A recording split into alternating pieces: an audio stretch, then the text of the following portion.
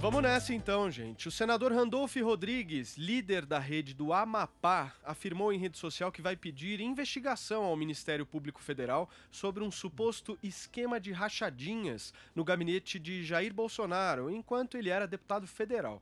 De acordo com reportagem da Folha de São Paulo deste domingo, uma análise dos documentos relativos aos 28 anos em que Bolsonaro foi deputado mostra uma intensa e incomum rotatividade salarial de seus assessores, atingindo cerca de um terço das mais de 100 pessoas que passaram pelo gabinete nesse período. Uma das possíveis práticas reveladas pela reportagem aponta que o atual presidente teria exonerado funcionários e recontratado no mesmo dia com o intuito de repartir o dinheiro obtido na rescisão contratual. Os boletins administrativos da casa mostram ainda que assessores chegavam a ter os salários multiplicados, o que não impedia que pouco tempo depois tivessem as remunerações reduzidas a menos da metade. Nove assessores do senador Flávio Bolsonaro, que tiveram o sigilo quebrado pela justiça na investigação sobre a rachadinha na Assembleia do Rio de Janeiro, foram lotados. Antes, nos gabinetes de Jair Bolsonaro, na Câmara dos Deputados. Ao menos seis deles estão na lista do que, dos que tiveram intensa movimentação salarial nesse esquema apontado pela reportagem. Começando o programa de hoje com ela, Thaís Oyama. Então, Paulo, como prática, isso que a Folha descreveu é pior ainda do que a rachadinha, né? Porque ela sai mais caro para o contribuinte. Então, você disse nesse resumo aí como é que funcionaria o esquema segundo a Folha. Então, os deputados exoneravam, contratavam, recontratavam, mudavam de, lugar os funcionários e a cada movimento desses, eles recebiam uma verba rescisória por indenização, recebiam o equivalente as férias acumuladas, etc. E daí juntava tudo isso numa caixinha e dividia entre o parlamentar e o assessor. E daí todo mundo ganhava, parlamentar e assessor, menos a gente, né, o contribuinte que pagava por aquilo. Então, é, por que, que, isso é pior que a rachadinha? Porque no esquema da rachadinha, digamos assim, clássica, né, a, quando o, o deputado colocava no próprio bolso a totalidade ou a parte do funcionário público, aquele dinheiro já estava no poder da Câmara. Então, por exemplo, é, hoje na Câmara Federal, cada deputado tem direito a 111 mil reais para contratar assessores. Ele pode usar esse dinheiro do jeito que ele quiser. Quer dizer, claro que não vale colocar no bolso, isso não está entre as possibilidades legais, mas ele pode, por exemplo, contratar poucos funcionários para ganhar muito e contratar muitos funcionários para ganhar menos. Mas isso, como eu disse, já está no bordeiro da Câmara. Essa prática de que fala a Folha é pior ainda porque ela cria indenizações artificiais. E daí isso faz com que crie também gastos extras para os cofres públicos. É um tipo de fraude que sangra ainda mais o bolso do contribuinte. Então, agora sobre o caso Bolsonaro específico, de que fala a matéria é evidente que tinha algo errado no gabinete do ex-deputado. Né? Isso fica claro quando você olha os números de movimentações, 350 em 28 anos. Acima, eles pegaram um deputado para fazer comparação, um deputado mais ou menos no mesmo patamar, com mais ou menos o mesmo número de anos de casa, Miro Teixeira, e deu um terço disso aí. Então, 350 movimentações em 28 anos, e a forma como eles eram feitas também não deixa margem a, a gente pensar que havia alguma coisa errada. Por exemplo, um funcionário que é admitido e depois, uh, aliás, exonerado e admitido no mesmo dia, no mesmo gabinete, eventualmente para um outro cargo, etc. E isso acontecendo com muita frequência, frequência muito maior do que o normal. Só que, para o Bolsonaro, o que acontece? Acontece que tudo isso era legal. Até 2003, por exemplo, isso era uma prática comum disseminada na Câmara, embora pudesse ter esse viés imoral. Só que do ponto de vista criminal, não pega nada. Do ponto de vista da opinião pública, já pode ser diferente. Vão começar a surgir indagações inevitáveis, né? Por exemplo, uh, a gente sabe que Queiroz só foi parar no gabinete do senador Flávio Bolsonaro porque ele era amigo de 30 anos do pai do Flávio Bolsonaro, o hoje presidente Jair Bolsonaro. Da mesma forma, a matéria da Folha diz que, como você já falou, seis assessores do Flávio, investigados no caso da rachadinha, também vieram do gabinete do Jair Bolsonaro e estão na lista desses funcionários que participavam dessas tais movimentações suspeitas aí das multas, etc. Então, isso estabelece outras seis intersecções entre o esquema do Flávio e essa acusação de rachadinha no gabinete agora do Jair Bolsonaro. E eu quero lembrar, por último, uma coisa. O presidente Jair Bolsonaro, quando ele entrou para a política em 1998, ele era um homem sem posses. Ele declarou no TSE neste ano que ele tinha um Fiat Panorama, uma moto e dois lotes que não valiam quase nada no interior do Rio. Hoje, em dinheiro de hoje, seria 12 mil reais. Quando se candidatou à presidência, ele também teve que apresentar a declaração de renda e ele já tinha virado um homem rico. Declarou 2 milhões e 300 mil reais em patrimônio, incluindo quatro casas e uma na Barra, né? Os três filhos que ele pôs na política também progrediram bastante, segundo as declarações de renda que eles apresentaram.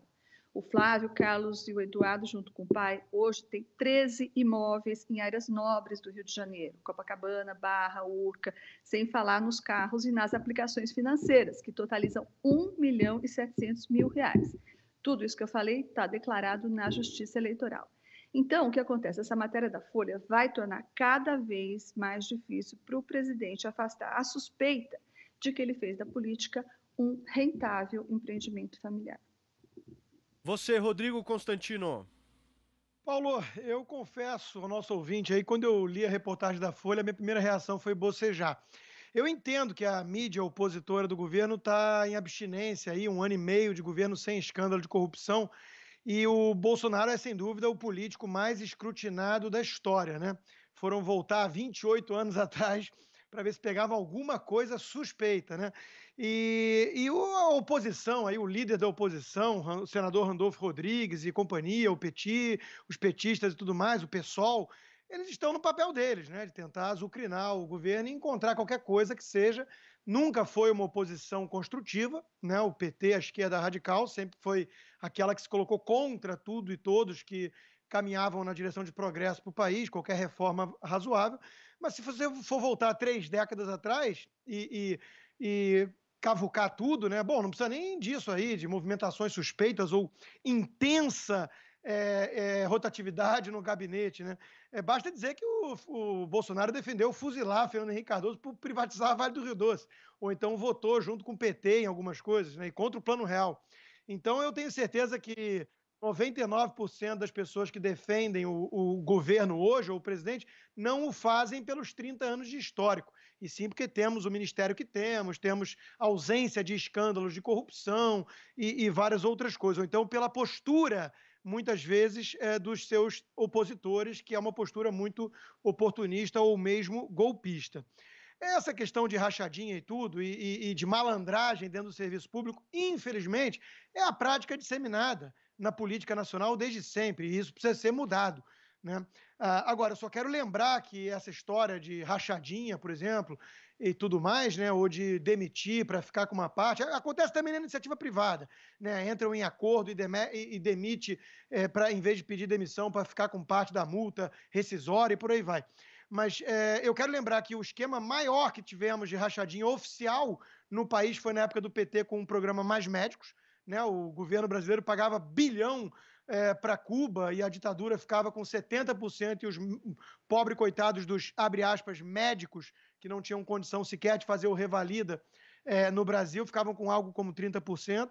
Temos o pessoal, o, o Freixo está se manifestando em relação a essa reportagem hoje, mas o pessoal é, chama de cotização, mas faz isso, e o PT tem até dentro do estatuto. Né, a rachadinha. Você devolve uma parcela oficial para o partido e por aí vai.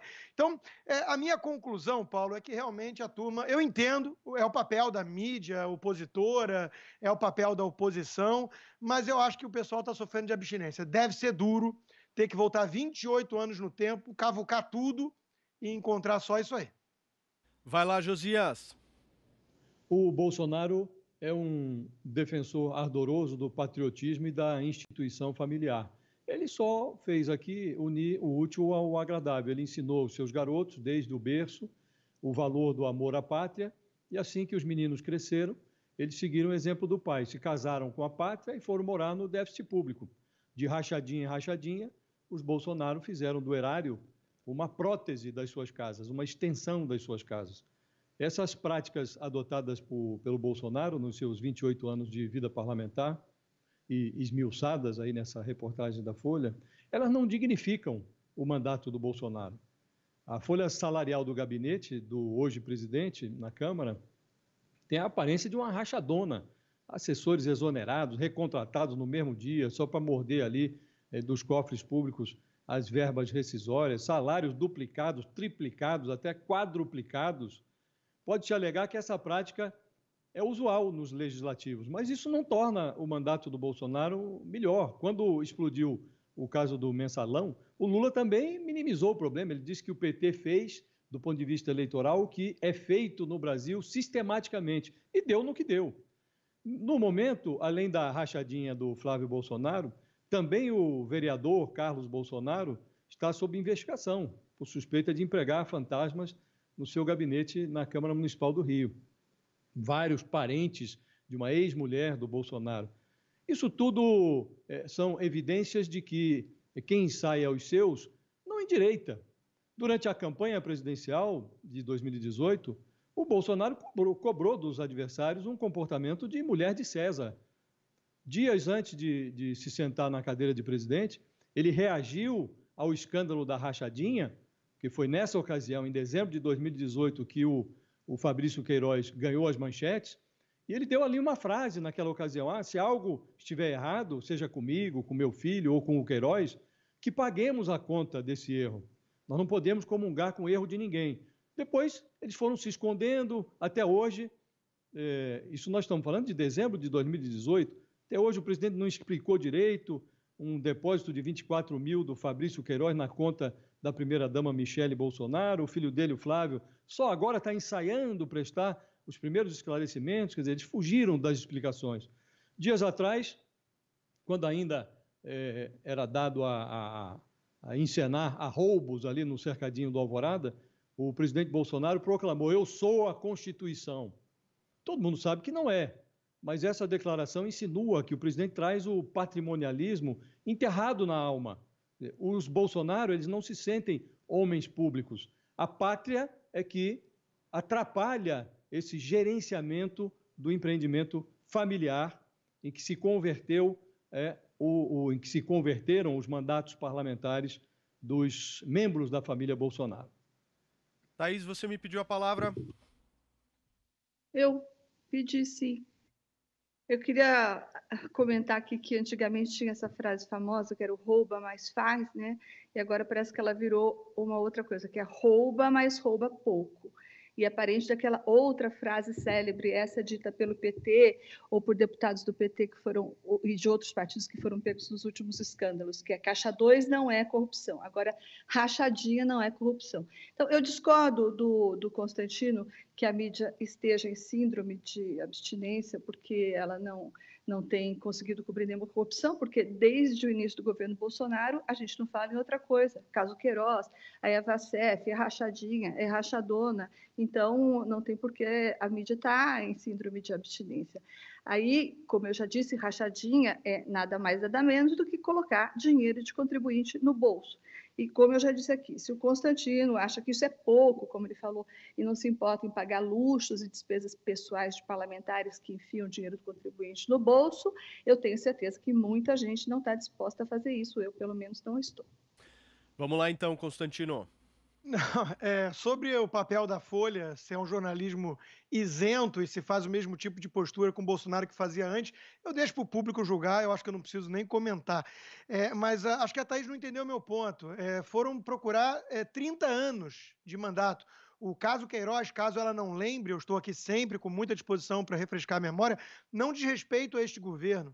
O que eu disse é que a abstinência deve ser é porque esses jornalistas estão tentando muito, muito encontrar qualquer tipo de escândalo que possa envolver Jair Bolsonaro neste mandato, neste governo. E está difícil, está difícil. Então eu sou até solidário ao esforço deles. Queria eu, é, Thaís, na verdade, o que eu defendo aqui é uma coisa chamada isonomia. Queria eu que esse mesmo tipo de escrutínio estivesse presente desde sempre. Ia ser uma maravilha. Para responder, Thaís. Eu só não entendi o Constantino, realmente tenho dificuldade de entender algumas coisas que ele fala. O caso Queiroz não pertence a esse governo? Você quer dizer que, cronologicamente, de acordo com o calendário, ele não se encaixa neste ano de governo Bolsonaro, embora envolva os mesmos personagens do governo Bolsonaro? O, como eu disse na minha fala inicial, Thaís, o presidente já defendeu fuzilar o Fernando Henrique pela privatização da é, Vale. Não, não, a gente está falando em roubar, roubar. Não, mas Bom, se você está acusando ele de ter roubado, aí você faz essa acusação. Da prática na minha opinião, leviana. Roubalheira, na minha, na minha opinião, é leviana. acusado o é... filho dele no governo Bolsonaro. Olha, o máximo que conseguiram nessa matéria foi é, intensa rotatividade de exoneração no gabinete. Se você está chamando isso de roubo, tudo bem, eu prefiro não fazer acusações levianas. É um, uma postura de jornalista que espera é, o processo legal e tudo mais. Mas, eu é, voltando... Constantino, desde o início que eu estava me referindo à prática. Depois, na segunda parte da minha fala, eu falei especificamente sobre o caso Bolsonaro. Agora, não há dúvida nenhuma que a prática, e foi a isso que eu me referi, é alguma coisa imoral, embora não possa ser ah, criminalmente. Isso é uma outra discussão. Isso é uma outra discussão. Mas se você quer. A discussão isso é, que eu levei, é que você que não entendeu. Não, não, acho que você não entendeu o meu ponto, mas vamos lá, é, não quero cansar o, o, ouvinte. Isso é a mesma coisa que você descobriu o seguinte: olha, há 30 anos atrás o sujeito deu uma cervejinha para o guarda para não pagar multa. É imoral. E aí a tentativa de certos jornalistas vai ser o quê? Vai ser tentar dar uma chamada sensacionalista para mostrar o seguinte: esse sujeito acusou o Lula de ladrão. Veja, são ambos igualmente imorais. E o público lá fora vai perceber que isso é um truque, que uma coisa não é condizente com a outra, que um tentou assaltar todo o país, montou uma quadrilha criminosa, tomou o estado de assalto, produziu inúmeros escândalos de corrupção ao longo do governo, tentou levar o Brasil na direção da Venezuela, e o outro foi acusado de uma prática imoral que todos faziam. Então é só isso que eu estou querendo chamar a atenção. Mas eu entendo a abstinência. Um ano e meio de governo sem grandes escândalos. Eu entendo. E eu também entendo que a única saída de quem tenta defender o governo Bolsonaro é fazer uma comparação com o governo Lula. E fica fácil. Agora, para mim, corrupção. Não, podemos fazer com é o PSDB também. O Serra tem 40 milhões de reais congelados na Suíça. E você falou do patrimônio escandaloso do presidente que está a vida inteira no setor público e tem 2 milhões de reais. Eu acho que os tucanos têm muito mais o que explicar também. Thaís e Constantino. Eu proponho vamos... um exercício para você, Constantino. Tente continuar defendendo o governo Bolsonaro e as práticas do governo Bolsonaro sem fazer nenhuma comparação com outro governo. Vamos não, eu não consegue. preciso disso. Thaís porque eu não Constantino, por favor, vamos, vamos ouvir um pouco as palavras agora do Josias. Eu só queria fazer uma ponderação rápida que não é verdadeira a, a, a assertiva segundo a qual a imprensa não tratou os governos anteriores do mesmo modo que vem tratando o governo Bolsonaro. Isto é, não é verdadeiro, essa, essa impressão é falsa. O, a imprensa foi muito severa com o governo Fernando Henrique. Na época das privatizações do governo Fernando Henrique, mostrou inclusive os negócios escusos que foram feitos eh, sob o manto de privatizações. O governo Lula a, a, a grande parte do que se descobriu foi revelado pela imprensa. Então, não é verdadeira essa afirmação de que a imprensa é, protegeu governos anteriores. Apenas agora o, o, presidente Bolsonaro, como é o presidente, ele está em evidência, mas outros já estiveram e foram tratados com a mesma severidade. Muito bem, para a gente fechar, Constantino, se a Thaís também quiser falar, por favor, me avise Não, eu aqui. falo bem rápido, é porque a gente sempre volta a essa mesma discussão. O Josias é livre para acreditar nessa baboseira mas o público lá fora sabe que o, a postura é diametralmente oposta. Eu não estou dizendo que a imprensa escondeu escândalos, foi graças à imprensa, é, mesmo essa aí, mesmo a Folha, que veio à tona coisas como o mensalão. Daí a você achar que é o mesmo tratamento vai uma longa distância. Eu lembro aqui de uma renomada jornalista da Folha que é, elogiava até mesmo o investimento no porto de Muriel, em Cuba, achando que isso era favorável para o país. Hoje em dia, qualquer coisa que o governo Bolsonaro faça é visto sempre por uma lente é, é, negativa. É só isso. Thaís, você quer falar alguma coisa? Eu não vi se você me pediu ou não.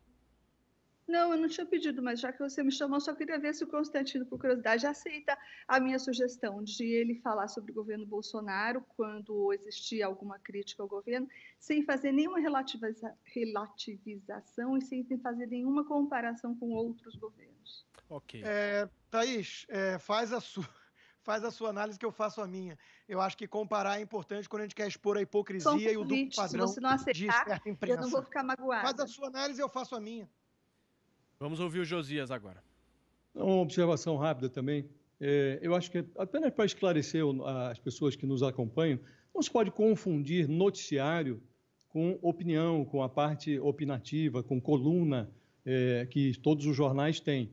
Então, é, o Constantino sempre confunde isso. Ele pega uma observação, ele sempre cita isso, uma jornalista que defendeu o investimento em Muriel. Isto é, é um direito da jornalista, ela tem lá o espaço dela, ela diz o que bem entende. Ainda outro dia ele estava dizendo aqui que o New York Times também, não sei quem, elogiou Fidel Castro. Não dá para confundir uma coisa com a outra. Há aqui entre nós um renomado economista, o Constantino, que faz também, expressa as suas opiniões, assim como eu expresso as minhas. Isso não se confunde com o jornalismo que é praticado pela Jovem Pan.